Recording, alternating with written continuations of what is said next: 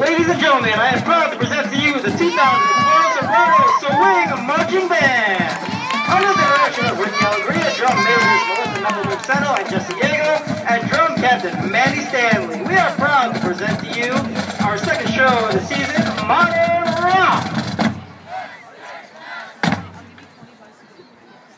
Released in 1994, this song was the breakout hit for the Californian band The Offspring. Today, it remains a mainstay in the punk rock scene. Here is Come Out and Play.